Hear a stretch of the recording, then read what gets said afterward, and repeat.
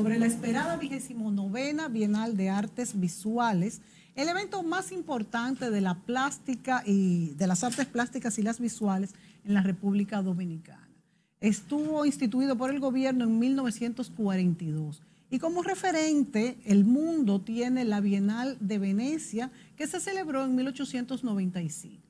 Les cuento que el comité organizador en este momento, ahora en la República Dominicana, está encabezado por la ministra de Cultura, quien designa el jurado de selección y luego las obras pasarán a ser evaluadas por un jurado de premiación.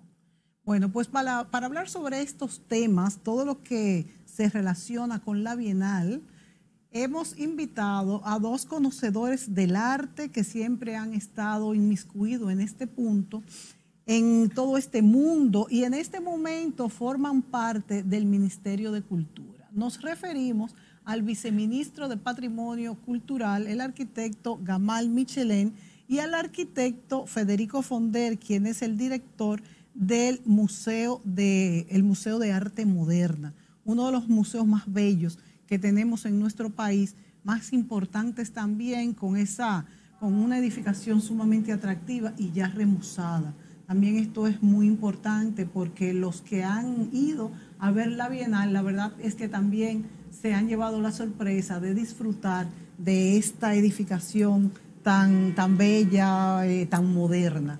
Bienvenido Gamal, bienvenido Federico. Hola Mónica. buenas noches. Mónica. Siempre me siento en casa aquí. Claro, claro que sí. Bueno, Gamal y yo hace muchos años tenemos, o hemos tenido, ¿verdad?, programas de televisión. Ahora ya casi uno ni lo ve porque está muy ocupado en estas cuestiones del Ministerio de Cultura. Vamos a hablar de la Bienal. Yo quisiera hacer un poco de historia, hablar de las primeras bienales en el mundo primero y luego en la República Dominicana. Sé que fuimos, eh, eh, que nos adelantamos a otros países, eh, incluso más, más, vamos a decir, creo que lo hicimos antes que Cuba, ¿verdad? Y, antes que México o no. Y antes que Brasil. no, yo voy a ir más lejos, antes que París. Exactamente. Que hablar de París es hablar de, la meca de los artistas. Pensaba que solo era en América, o sea, también antes que, que se movía entre Montmartre y Montparnasse. Y te digo, la de París fue en el 59, la primera y la nuestra en el 42. Y la de Sao Paulo, que es una de las más famosas del mundo, en el 51. Nos adelantamos nueve años. No sé si puedo decir algo más que es interesante.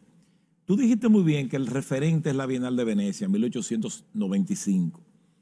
Que de hecho Venecia tiene un patrón en eso el comité está de acuerdo, por el comité es clave en todo esto, el comité de la Bienal, el director Federico Fonder, un servidor y, principalmente la ministra. Nosotros queremos retomar el, concepto como lo hace Venecia, que tiene una Bienal de Artes Visuales un año y una Bienal de Arquitectura el próximo año. O sea, cada dos años. No, ah, cada dos años, cada año hay una Bienal. O toca arte o toca arquitectura. fantástico. Eh, no es tan sencillo porque nosotros entramos ahora con un periodo de atraso de la Bienal, las causas no importan. Bueno, las causas incluyendo la pandemia. sí. Aunque... Lo que pasa es que la Bienal debió ser en el 17. Eh, tenemos referentes, pero La última fue en el 15 entonces. La última fue en el 2015. Eh, y debió ser en el 17 la próxima.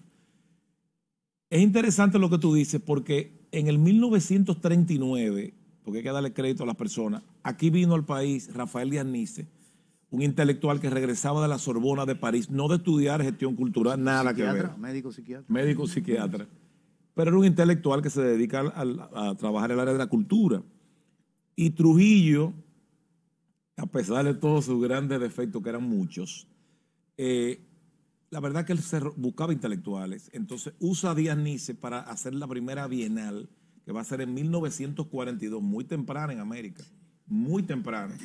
Y hay que darle ese crédito a Rafael Díaz Nice. Eh, y de ahí en adelante se celebraba cada dos años, excepto cuando han habido problemas políticos, inconvenientes y eso. Y nosotros aspiramos, porque estamos aquí ahora, mañana no estaremos en el Estado eh, el mañana es un término subjetivo, pero bueno.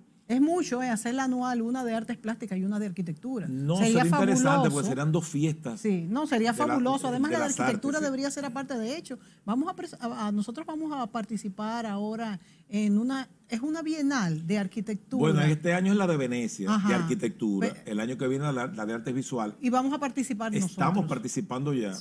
Eh, hay que dar el crédito a Lidia León que arrendó la iglesia de San Giorgio, que es una iglesia anglicana, e hizo una instalación eh, basado en la hoja de tabaco. el, trabajo lo, hizo ella y muchos profesionales más.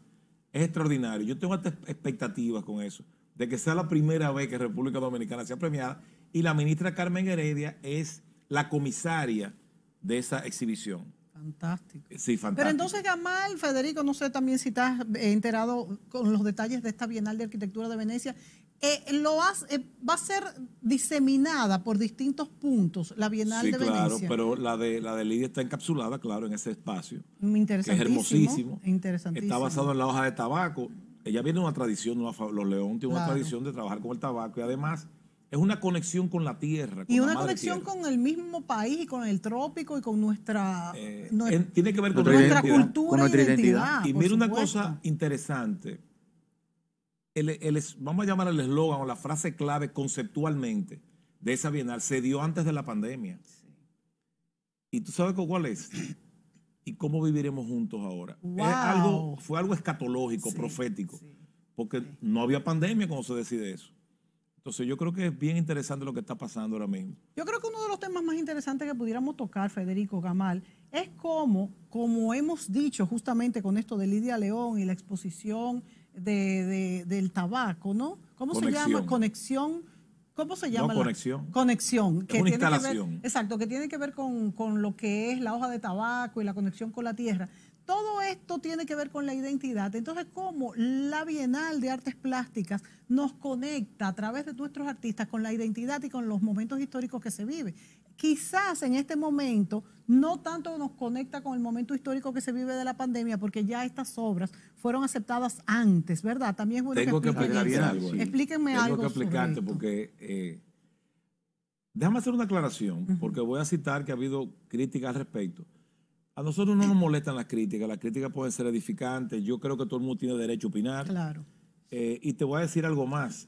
Eh, yo tengo la convicción de que, en un, de, que el artista, en su naturaleza, tiende a ser contestatario.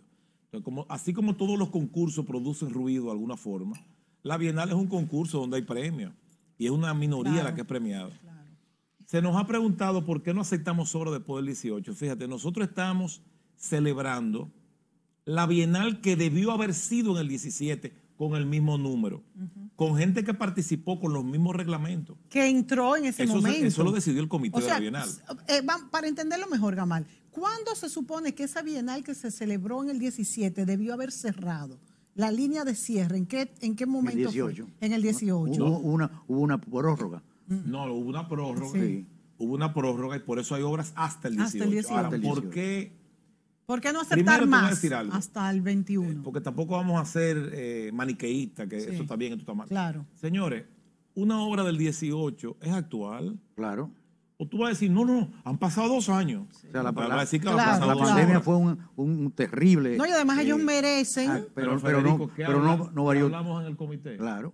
Que si aceptábamos una gente que participara, habiendo participado en una pandemia ahora, él llevaba ventaja. Claro, claro porque, iba a tener temas que iban, no, que iban a tener una conexión eh, eh, emotiva, ¿no? Claro, eh, emotiva. exacto. Mónica, con algo que no hemos vivido nunca. Es un tema que... Iban, a, iban a llevar no, ventaja. iba a ser el tema. Exacto, iban a tener ventaja sobre los Iban a llevar a Gabela, como dice. Exactamente. Gabela, la bueno, pues mira, Gamal, con más razón, ahora sí deberíamos de hacer una, una, una bienal, que en este caso ya sería de arquitectura y no es lo mismo, pero ya que estamos tan con este retraso. No, por si estamos aquí, Dios lo permite, en el 23 viene una bienal al día. El 23, en Ahora, yo no considero. 30.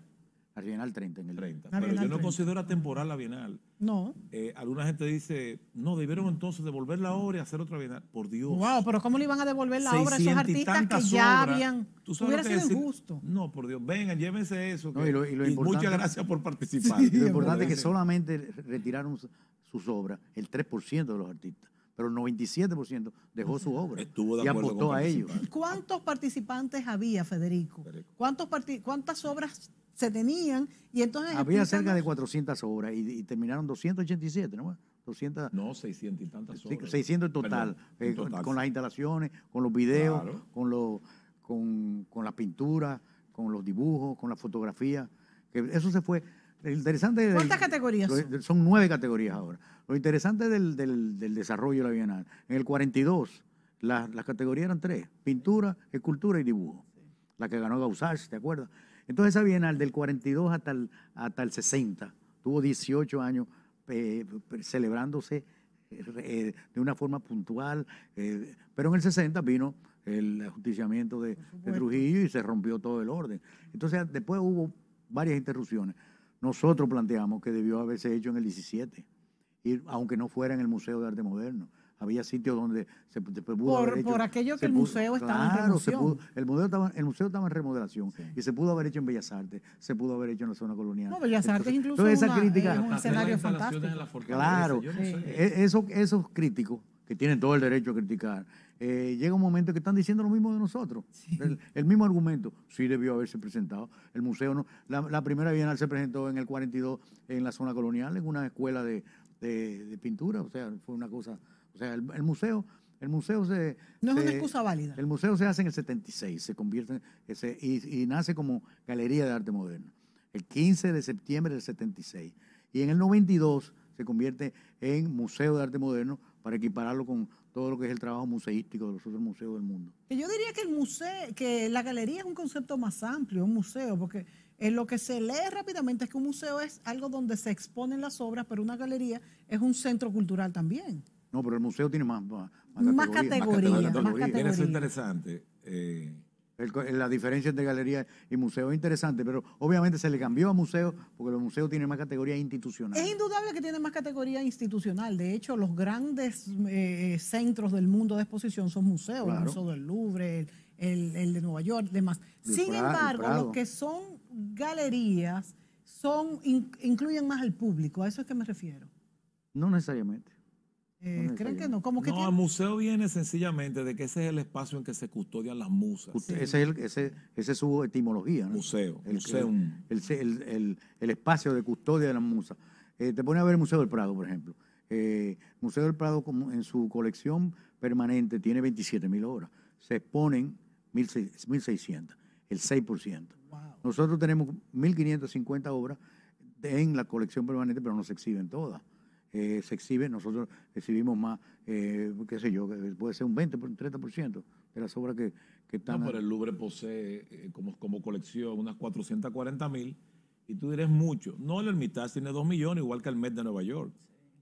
Entonces una cosa es colección permanente. Sin y em- otra cosa es exposición Sin permanente. embargo, tenemos nosotros capacidad de, de almacenar esas obras como debe de ser, porque Bueno, eso me imagino bueno, que, eso- que los es espacios que es tienen esos punto, museos Es un buen punto. El asunto del almacenaje es básico en un museo. Y ese es uno de los puntos que estamos ahora mismo tratando en ¿Qué diseñar, Trabajando, capacidad de almacenaje, por ejemplo, tiene el Museo de Arte Moderno?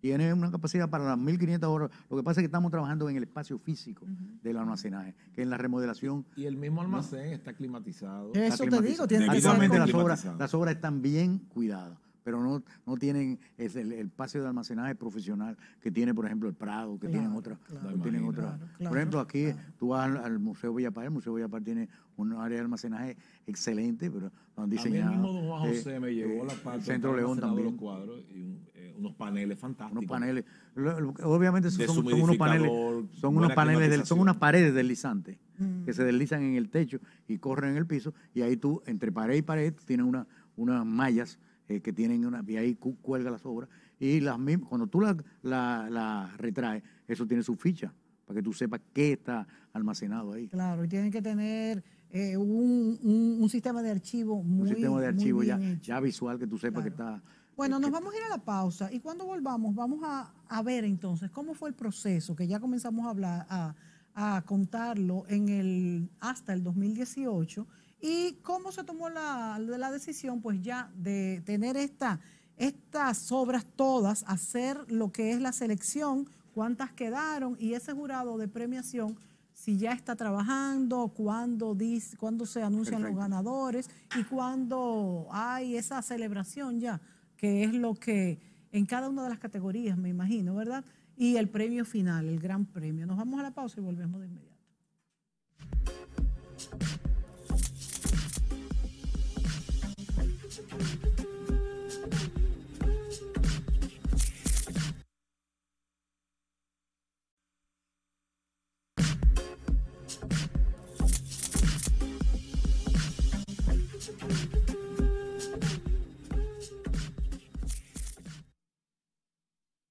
Amigos, Gamal Michelén y Federico Fonder, arquitectos, ambos vienen del Ministerio de Cultura. Gamal Michelén, viceministro de Patrimonio Cultural y Federico Fonder, director del Museo de Arte Moderno. Y hoy hablamos sobre la Bienal, un evento sumamente esperado por los artistas. Hubo críticas de que se dilató mucho la Bienal en celebrarse. Ya Gamal y Federico explicaron que hubo causas eh, desde hace, bueno, desde el 2018 de que no, debió haber sido en el 17, de que no se celebraba, el, el, Museo de Arte Moderno estaba en remodelación y hubo muchas otras causas y después vino la pandemia. Finalmente se anuncia la, la, la Bienal y estamos ahora en todo el proceso. Vamos a seguir eh, viendo cómo, cómo se ha verificado. O sea, se nombra, el comité organizador nombra lo que es este jurado de selección. Las cuántas sí. obras eran, cuántas obras llegaron a la selección y a, y a, partir de ahí, cómo se hace el jurado de premiación para designar las obras,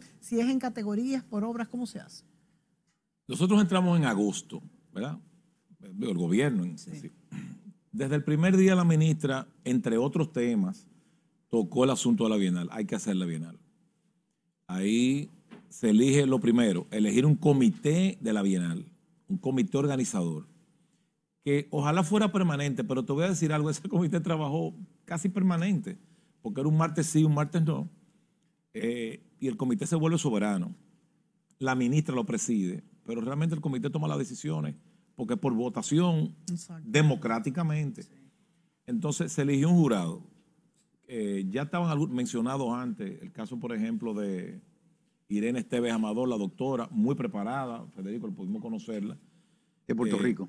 Que fue una recomendación anterior, pero entendimos que era adecuado, porque los reglamentos dicen que debe haber un extranjero y dos de dominicanos. Irene Esteves de Puerto de Rico. De selección. De selección. En los, dos, jurados, en los dos jurados Estaba, hay, hay, un, hay dos, dos, hay un dos dominicanos y dos dominicanos. Y un. Exacto. Estaba también el, el, maestro amable Sterling, que no solo es un gran maestro como artista, sino que es un hombre con la cabeza bien puesta. Y Plinio Chaín, o sea, estamos hablando de personas que tienen toda la, toda la, la sí, el perfil para ser jurado. Y de 605 obras más o menos, creo. Eso se redujo a 283. Decidimos exhibir es, eh, es, esas obras. ¿Por qué razón? Usualmente, cuando se hace la, la selección, casi seguido viene el premio. ¿Qué pasa? Estamos en una pandemia, nos, hay un premio del público, por ejemplo. Queríamos que la gente lo visitara. No podemos invitar, ahí escuché yo artistas diciendo, no nos invitaron a la, a la inauguración. No podemos invitarlo porque no ha llegado la inauguración. Lo que se hizo fue exhibir al público para que en grupos de 20 en 20, 15 en 15, fueran a verla. Que por cierto, hay muchas visitas al, al Museo de Arte Moderno. La gente va libremente, gente va, o sea, está una, abierto. la Bienal es una puertos- fiesta de las artes visuales. Sobre todo los fines de semana, la familia. Sí. Y bueno, mañana Hay yo que tengo pagar para ir. A- a- hasta Es ahora ha sido gratuito. gratis todo este gratis, gratuito. lo correcto que se pague. De hecho, nuestro museo es demasiado económico. Muy cualquier económico. país, tú pagas 25 dólares por persona y 30, y ahí están 50. Para entrar al MoMA, Para sí, entrar- claro. eso sí. Entonces, ese jurado seleccionó ya. Decidimos exhibirla para que el público las vaya viendo poco a poco en un contexto de pandemia. Mira, te voy a decir una expresión que ya me estoy cansando yo mismo de oírla, pero es que es muy pertinente. No es mía, es, es prestada. Ortega y Gasset dijo, yo soy yo y mis circunstancias. Totalmente. Si no la salvo a ella, no me salvo yo. Yo tengo que salvar mis circunstancias. Nuestra circunstancia era complicada. Hay gente que entramos, celébrala en diciembre, ¿tú te acuerdas? Sí. Digo, ¿y cómo? De agosto a diciembre. Por Dios. Cuando no se sabe ni siquiera lo que hay. no se, no se entendía bien el virus, no había vacuna. Las no, obras- y tampoco se conocían las y obras. las obras almacenadas. Por eso, que no había se sabía ni siquiera en qué Que había condiciones que liberarlas estaban. del espacio en que estaban, sanarlas en cierto sentido, revisarlas con guantes, porque todo es cuidadoso. Nosotros estábamos un plazo de ocho meses para Por montar una bienal. Porque, eh, imagínate, Yo creo que no se podía haber hecho antes. no, no es un imposible. Lo que pasa, eh, está bien, se aceptan las críticas, pero hay quien te dice entonces que no. que- yo creo que tú no la celebras, y si la celebras, como que eres la misma crítica. También hubo críticas de que se celebrara. Claro. Hay gente que estaba de acuerdo con devolverlo todo y hacer una bienal, pero eso para mí. Y comenzar de nuevo. Bueno, yo respeto la opinión de cada uno. No, pero por Dios, ¿qué tú le ibas a decir a todos esos artistas?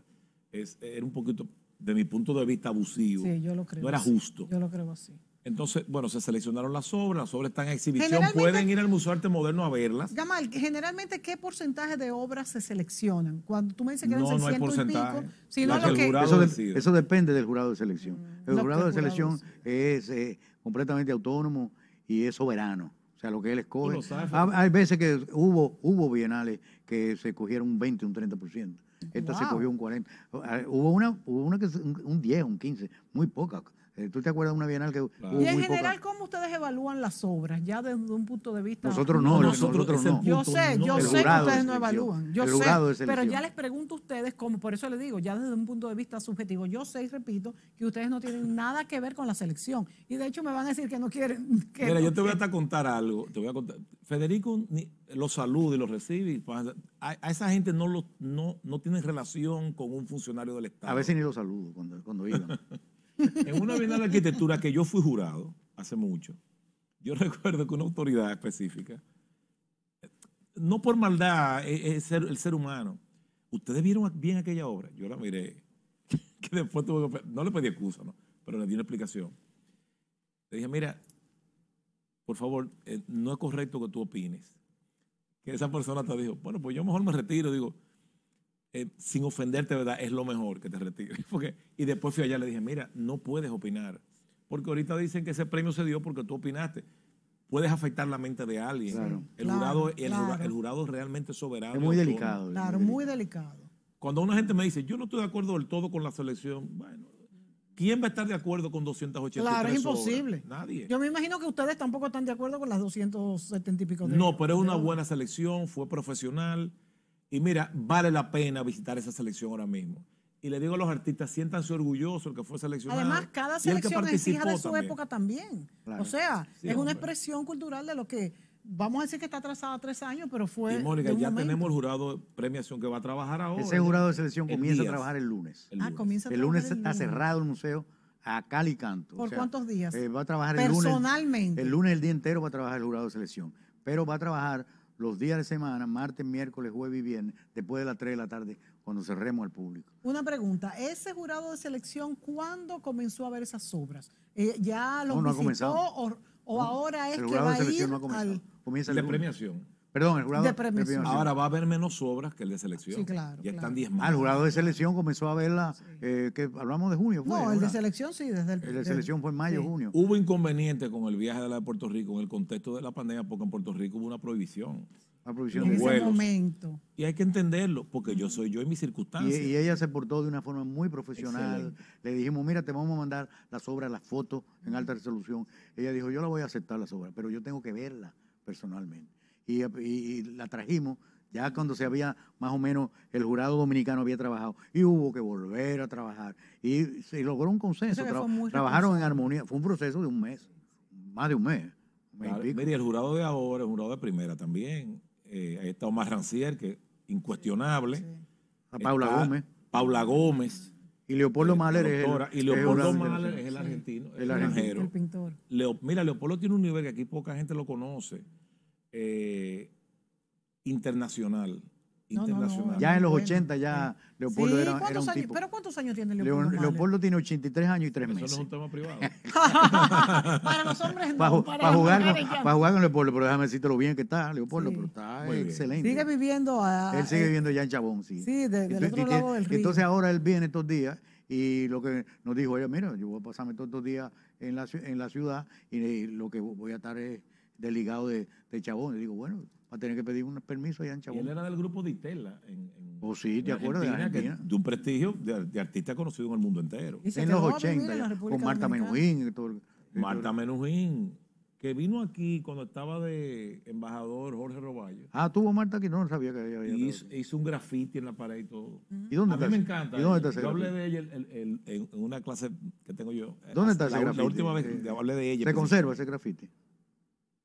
Yo no sé si lo pintaron o no. Yo, yo a la embajada de Argentina fui a pedir. Esta, ¿no? esta es una artista famosa eh, argentina que hizo un famoso obelisco de, de, de pan, pan dulce. de pan dulce. Wow. Es genial, ¿sabes? Qué maravilla. Porque fíjate, fíjate qué interesante, el- en la selección de las obras hubo 44 instalaciones, hubo 117 pinturas, hubo- en performance nada más se escogió uno para la gente que son aficionados a los performance, que yo no soy muy aficionado a los performance, de respeto a, los a los que son aficionados a, ese, a, a esa expresión.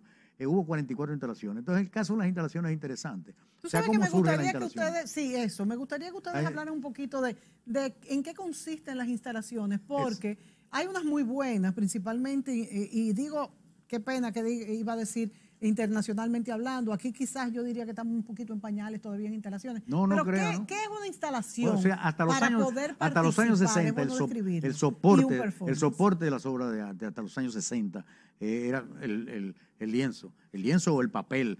Eh, en los 60 nacen, nacen las instalaciones. Comienza a hacer la obra Joseph Bay, comienzan todos los, los- los tipos. En un mundo mucho más Eh, dinámico. sí, y Hay que cambia. mencionar a Joy Kusama. a Kusama. Que está viva. Eh, sí, de Sayoy Interna de un tiene, sanatorio 92, mental, tiene 92 años. pero y voluntariamente. 15 días.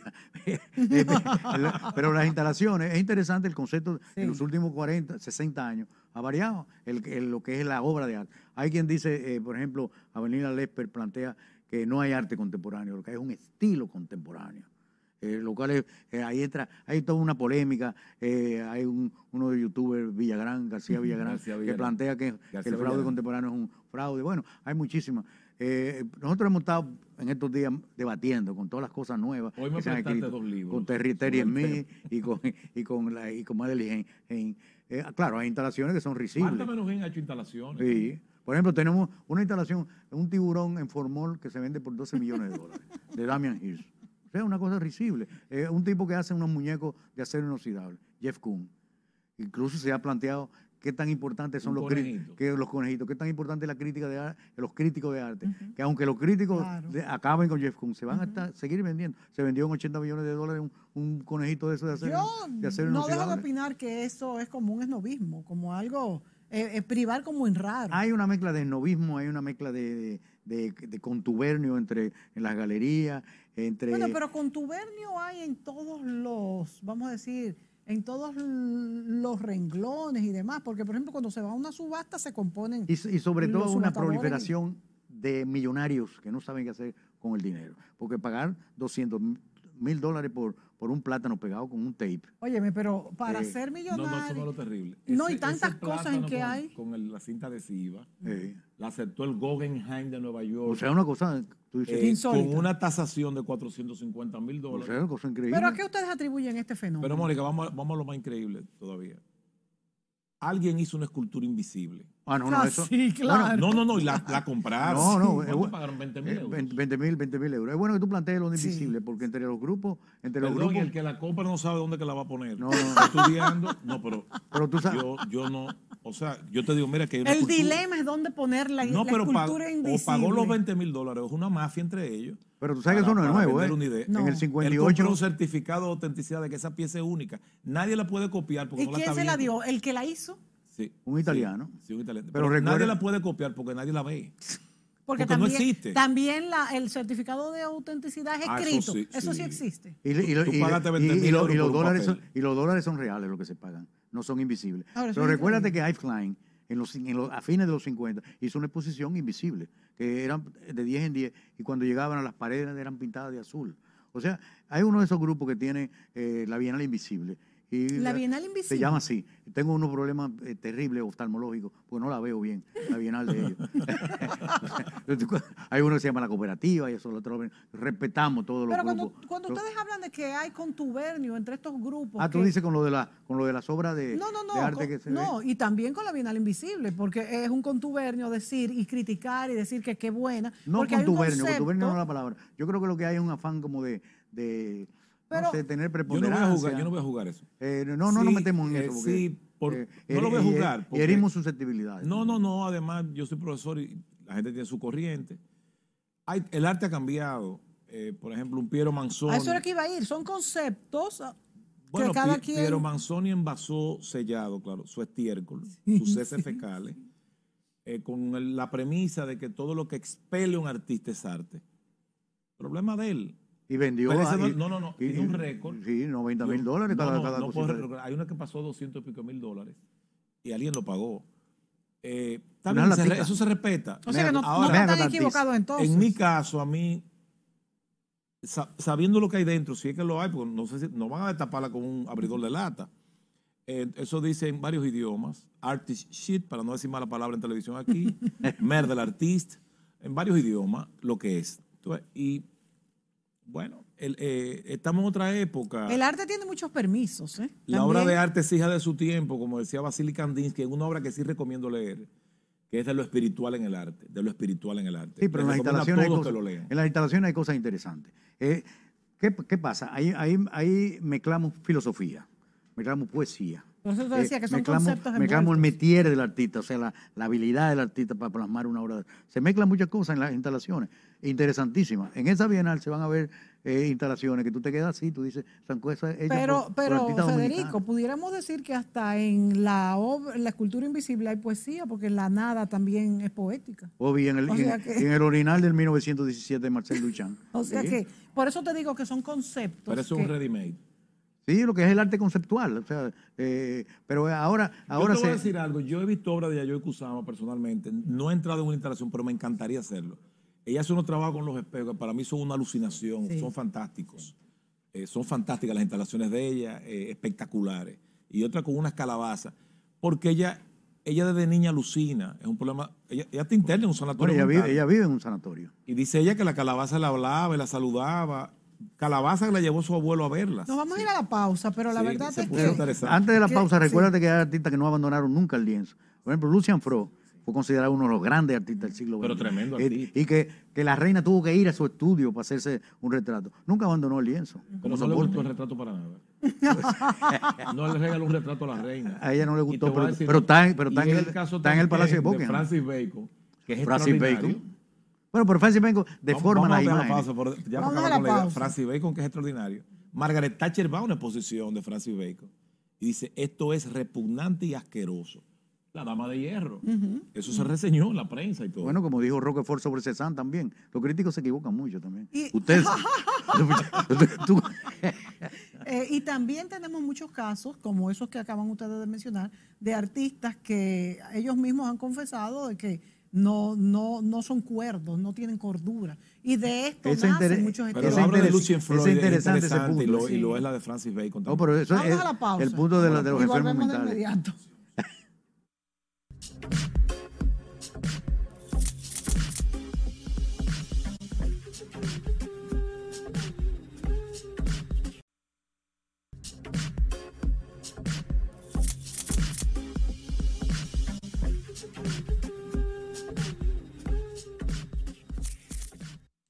Cuando hablamos de artes hay muchos temas que nos apasionan, definitivamente. Pero aterrizando de nuevo en la Bienal, aunque quizás nos desviemos. Aterrizando. Sí, aterrizando de nuevo en la Bienal, no quiero que se me pasen fechas importantes. Por ejemplo, ¿cuándo se celebrará esta premiación? Eh, ¿cuáles, eh, ¿Cuántas obras son las elegidas? Si es por categorías, si es por piezas. Porque antes yo me acuerdo que era por categorías y había eh, categorías que se declaraban desiertas. Ya esto no, no pasa más. No es por categoría.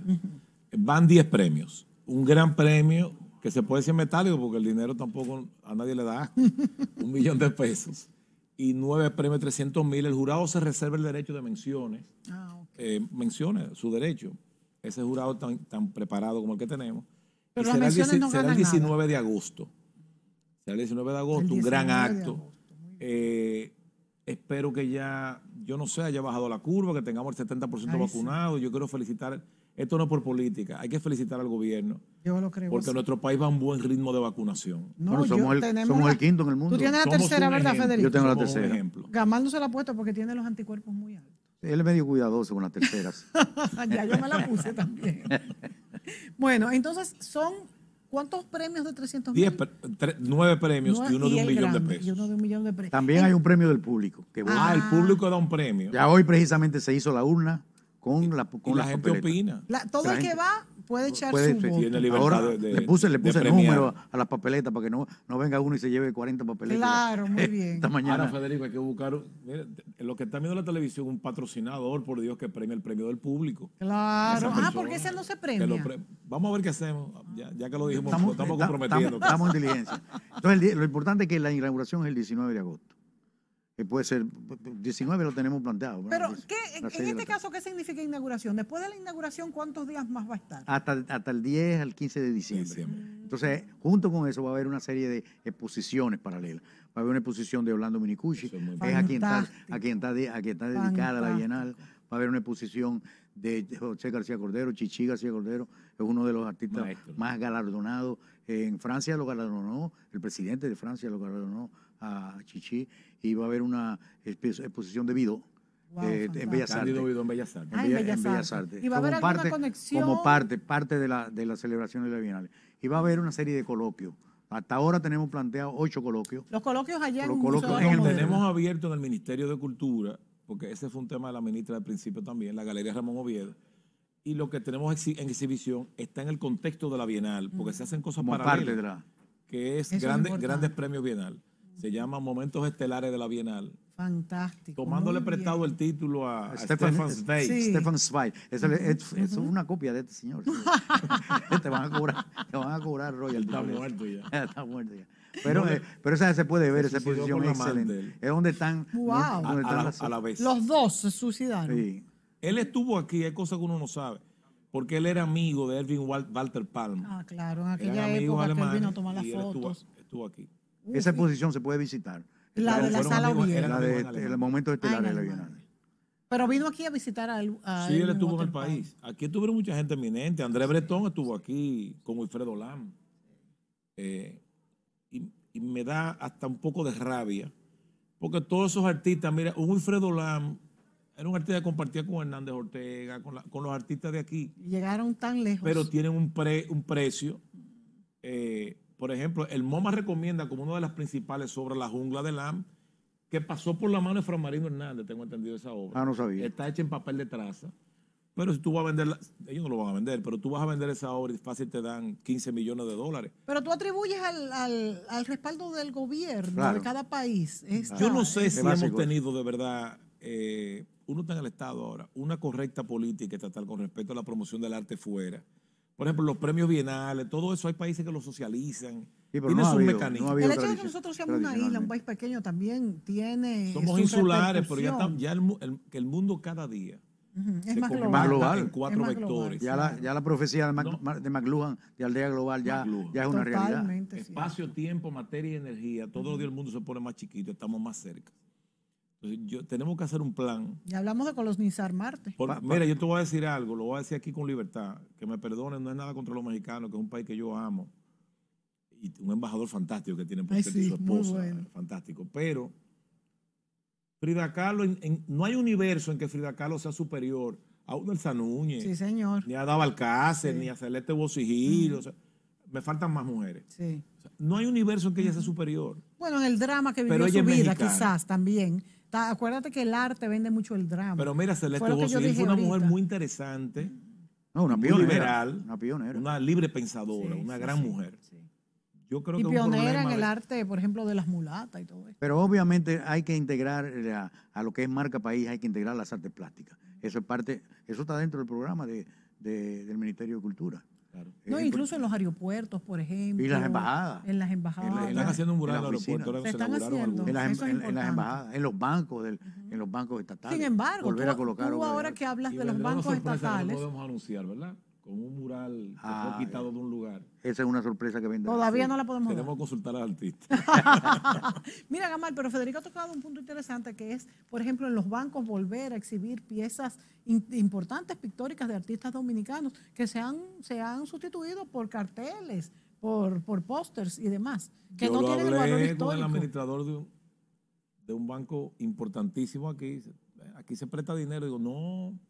Tú sabes la buena imagen que da un gerente, un- un- una autoridad de un banco. una buena de Y el respaldo Una incluso. buena tú obra ves de una arte. buena obra de arte en su espalda. Yo creo que eso es una imagen Además, eh, no tenerlo desincentiva a los pintores porque se van a vender menos y es parte de la historia contada a través de la pintura que se, que se puede perder.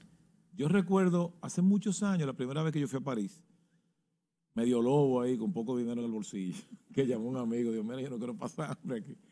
Eh, que la papeleta de 20 francos era una obra de De la Cruz, La libertad guiando al pueblo, y vine aquí y lo hablé en el Banco Central, pero, pero que yo lo diga y nadie parece que era lo mismo.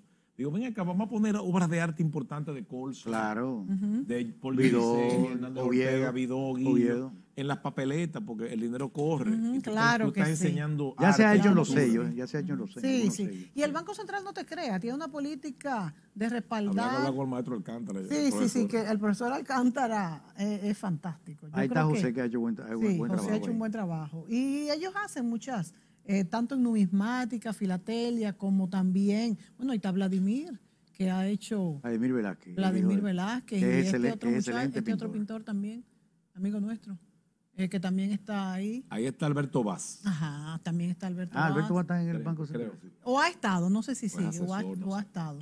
sí. Entonces, volviendo, aterrizando con lo con la lo de la Bienal, Bienal. que eh, planteamos 19 de agosto y de- del 19 de agosto a diciembre, a mediados de diciembre, van a ser eventos paralelos, eh, exposiciones, todo relacionado con la Bienal. Se van a promover para que la gente vaya, esperemos que la pandemia lo permita. En este momento hay algún mínimo de, eh, de que un, un máximo, mejor dicho, de grupos que puedan Estamos, ir. estamos planteando que no entren más de 25 personas, pero eso se Y controla. además es enorme el museo. el museo es grande. Que 25 personas pueden, pueden entrar, por ejemplo, tres grupos de Es un 25 espacio porque de generoso hecho... Sí, y, y tiene- tiene tiene- interior y Tiene exterior cuatro, cuatro niveles con el sótano.